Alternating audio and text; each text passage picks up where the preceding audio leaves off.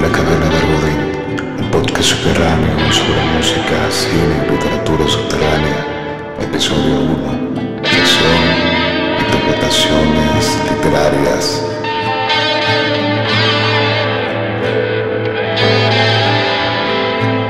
Bienvenidos a La Caverna de Godín, un podcast subterráneo acerca de música, literatura y cine de carácter transgresor, oculto, experimental contracultural, etcétera, etcétera. Yo soy Luis Aludín y este nuevo proyecto va a estar dividido en secciones.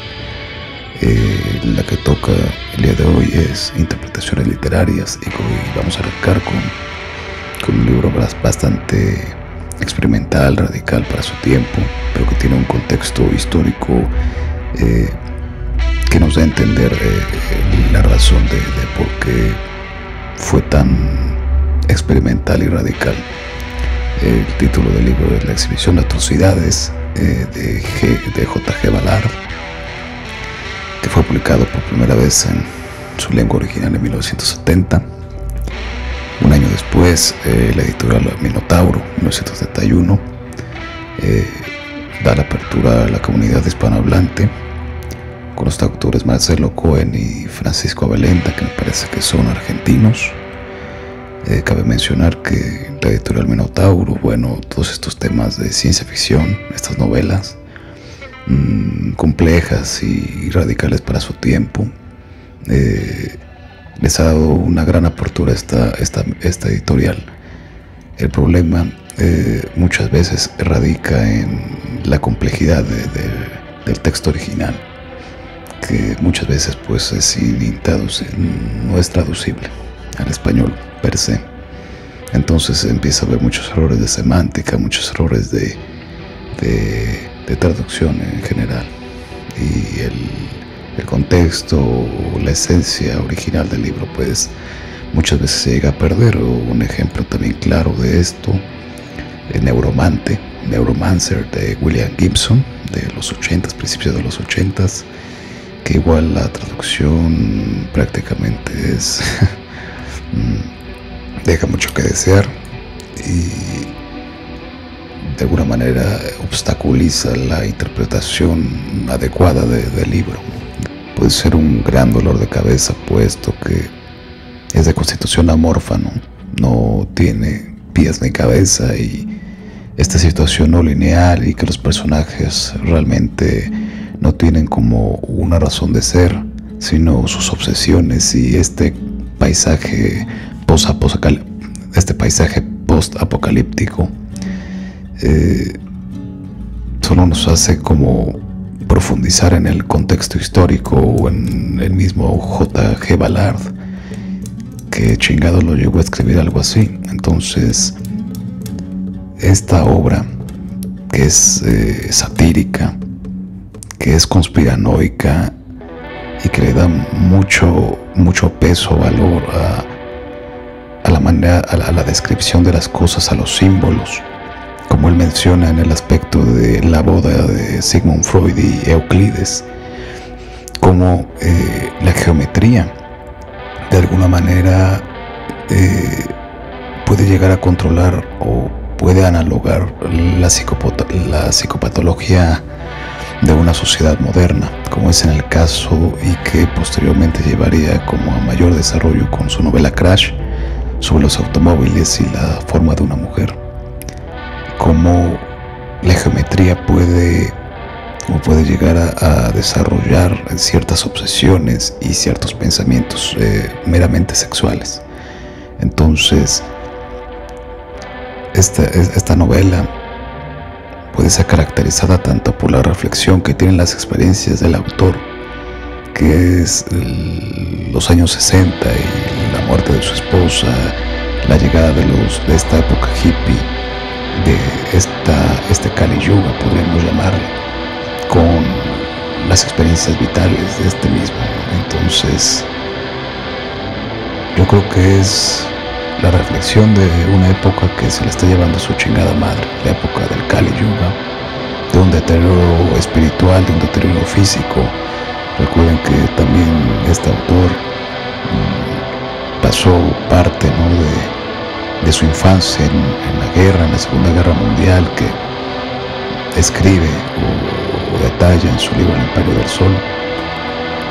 Entonces, pues es más que nada eso, este deterioro, deterioro físico y espiritual que se lleva a cabo en los años 60, la guerra de Vietnam, la, posguerra de, las guerras mundiales, eh, la situación de cómo se empieza a mediatizar, ¿no? se empieza a usar eh, la televisión como una manera de transmitir ciertos comportamientos, eh, como la violencia se va haciendo cada vez más frecuente a pesar de que eran los años 60 este flower power de amor y paz, cómo era posible que gran parte de todos estos hippies de clase media, alta, eh, estaban proclamando que la única solución para mejorar el mundo era el amor cuando sus hermanos menos privilegiados estaban peleando guerras sin sentido y claramente pues siendo parte de un gran experimento.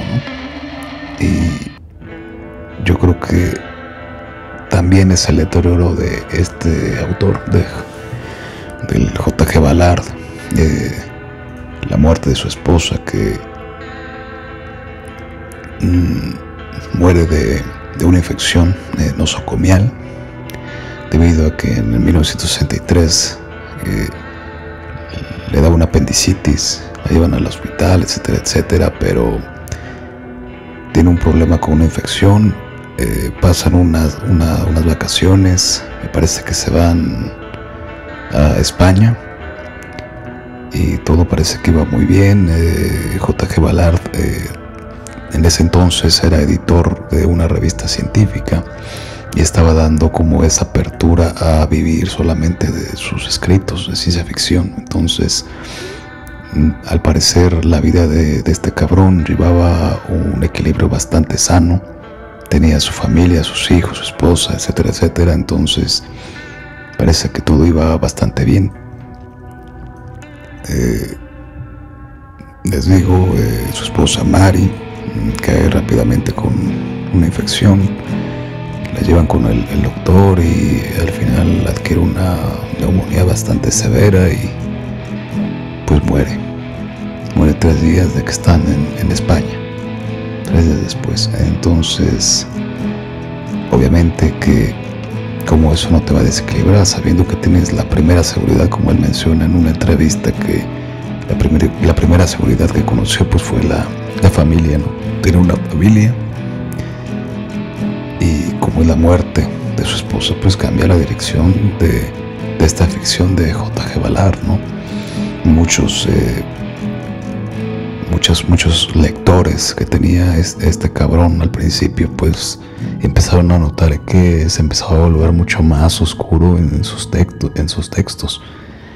Pero él tenía la idea de que estaba siendo radical. Él estaba como tratando de decir que mediante sus elucubraciones mentales mediante su propia interpretación de cómo veía el mundo después de todas estas muertes de la Segunda Guerra Mundial, de John F. Kennedy, de, su propia esposa, cómo este deterioro podía cambiar de alguna manera la, manera en que vivíamos, la moral de los años 60, de demostrar que el blanco pudiera ser negro, que 2 más 2 pudiera ser 5, etcétera, etcétera. Este impacto psicológico se ve completamente detallado en el libro. Este impacto psicológico en la mente colectiva, en este inconsciente colectivo, de, como menciona un artículo, de este sacrificio ritual de la carne y de las emociones del público, cómo la violencia se vuelve algo para vender y algo para controlar a la gente, Y podría ser este, esta época, estos últimos años que pasamos nosotros en el Internet, la exhibición de atrocidades, esta constante mediatización de las noticias más grotescas, más bizarras, más violentas y como de alguna manera cambian la psique de, del humano promedio, del consumidor promedio de cultura por internet, ¿no? Solo veamos el hecho de un linchamiento, ya a la gente no le importa. Eh, ya hay mucha desensibilización sobre los linchamientos, sobre los secuestros, sobre los feminicidios, sobre los problemas de contaminación ambiental, mm, la extinción y, la masacre de muchos animales, de muchas especies. La gente ya parece no importarle y lo único que hacen es pelear el problema que ha habido últimamente con Facebook sobre cómo el algoritmo mm, de alguna manera eh, nutre, ¿no? propicia que eh, haya una mayor propagación de una noticia que genere odio en distintos tipos de, población, distintos tipos de, de, personas y de que cómo se ponen a pelear por eso. Esa segregación ideológica, esa separación de yo creo esto, tú estás mal, yo creo esto, tú estás mal y siempre el odio, el odio y el odio.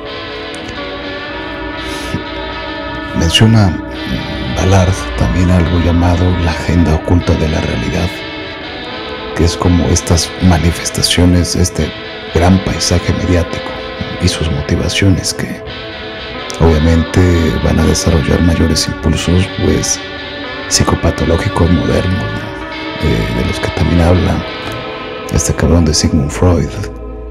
Y al final, esta manera de moldear a la gente, ¿en qué va a llevar? A que cada uno vea por su propio culo y que no te importe lo que le pasa a los demás, ¿no? Llegamos ya a un punto inflexible en que, por el hecho de tanta desilvanación del tejido de la sociedad, preferimos llenarnos de de cámaras de seguridad, ¿no? Y que cada quien se vea por su, por su propia cuenta. Yo tengo mis cámaras de seguridad, pues yo sé que mi casa estará segura y que él, si llega a entrar un ladrón, pues quedará eh, grabada su cara, ¿no? Y ya, no me importan los demás, entonces empieza a existir esta desunión de cada quien se rasca por sus propias uñas y la verdad eh, es uno de los grandes problemas y que se ha vuelto con, está pegando con mayor ímpetu, con mayor tosudez en estos tiempos de una tecnología bastante, bastante avanzada. Entonces, los temas que, más eh, recurren la exhibición de atrocidades serán la inestabilidad mental, la, la frontera entre la cordura y la locura, la muerte, el sexo, la violencia como un ritual, etcétera, etcétera. Esta manera pornográfica en la que lo que es privado ya no es privado, ¿no? Y lo público igual, esa manera tan pornográfica de poner todo a nivel público. Esta exposición igual, eh, las celebridades, eh, esta manera tan melodramática de llevar todo a cabo por, televisión, por internet. Prácticamente J.G. Ballard estaba eh, profetizando estos tiempos de, influencers, de TikTokers, de videos pornográficos relacionados con políticos, con gente famosa. Mm, ya no existe como tal algo privado y algo público, ya todo pertenece al ciberespacio y pertenece a aquel que lo está viendo, al espectador. Por el mismo hecho de ser un espectador como la película El odio, que tiene una escena para mí magistral y que detalla completamente lo que es una sociedad simplemente expectante mm, del otro lado de la pantalla, que es cuando están los tres eh, protagonistas con, los policías, con estos cabrones que los detienen y los llevan a, los separos o una situación así para interrogarlos. Y está el, policía novato, ¿no? El hecho de que sus compañeros con mayor experiencia tratan de una manera inhumana a estos tres cabrones, a los protagonistas, y el policía novato solamente está sentado con la cara mm, escondida entre las manos, a veces queriendo ver, a veces no, pero llega un momento al final en el que el cabrón termina aceptando que eh, o termina desensibilizándose ante la crudeza ¿no? de la vida diaria, de la violencia. Entonces, prácticamente eso está pasando igual en estas sociedades modernas, esa escena del odio, el libro de J.G. Ballard, mmm, detallan como esa desensibilización hacia las obsesiones sexuales, hacia la obsesión ante la violencia, hacia los aspectos de la guerra, de las enfermedades psiquiátricas, etcétera, etcétera. Y cómo el materialismo va disociando la mente con el cuerpo y cómo esta agenda oculta de la sociedad, como menciona que podría ser toda una teoría conspirativa, ¿no?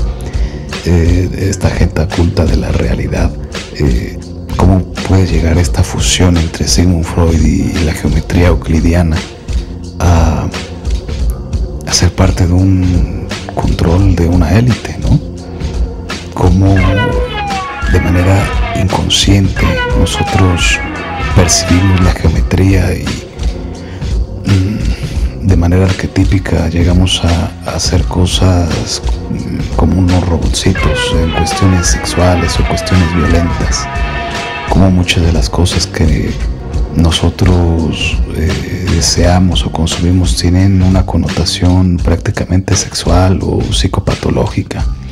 El hecho de los mensajes subliminales, yo recuerdo cuando era niño me fascinaba buscar en internet sobre mensajes subliminales en la publicidad, ¿no? Y la, están repletos de putos mensajes subliminales y la gran mayoría son mensajes subliminales relacionados al sexo.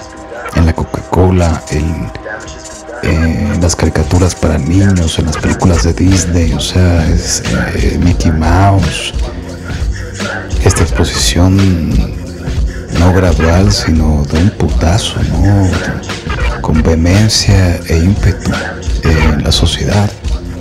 Y prácticamente no habla de eso. No tiene como tal una narración tradicional y quizá resulta difícil llegar a entenderlo, pero hay ciertos conceptos que eh, podrían de alguna manera que nosotros desarrollemos esa interpretación y conociendo también el pasado de este cabrón, sus problemas con, con, con, la muerte de su esposa, el deterioro de los años 60, las políticas antidrogas, el régimen en curso, la muerte del Flower Power. Eh, son es un libro bastante, bastante interesante y esa cuestión de la boda entre Sigmund Freud y Euclides me parece algo genial y algo bastante, bastante real. Y no esperen, si no lo han leído, pues no, no hay que esperar poder entenderlo como tal, ¿no? Quien diga que entendió la descripción de las atrocidades, pues está, está mintiendo. Es un libro que se lee y es difícil de digerir, a veces no lo vas a querer terminar y a pesar de que son como 120 páginas, puta madre, se te hace larguísimo. Lo mismo me pasó con Nova Express de William Burroughs.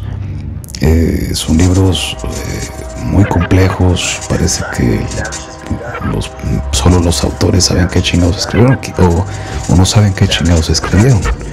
Entonces, no, no hay que leerlo con esa con ese objetivo de poder desentrañarlo completamente. O sea, el libro es inextricable, es insondable, entonces hay que verlo como una metáfora. La escritura de atrocidades debe de verse como una gran metáfora, como una profetización de estos tiempos hipermodernos en los que ya no existe como tal un panóptico, eh, podríamos llamarle... Mm, generado por, por un este